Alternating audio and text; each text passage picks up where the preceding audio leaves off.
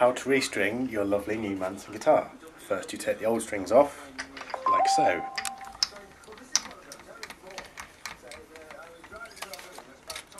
Being careful not to scratch the paint.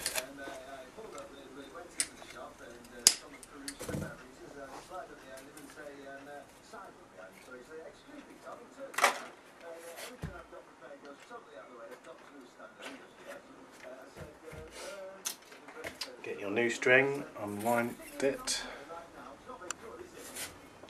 Uh, if it's a through body, pop it through the ferrule in the back.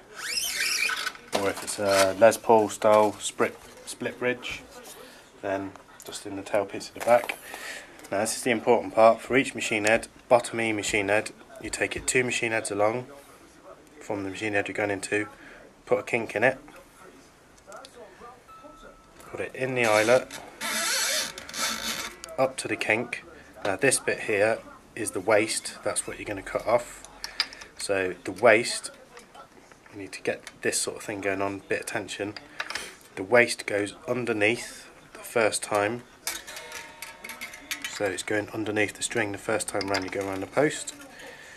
And then for the next couple of times, it goes over the top of the string.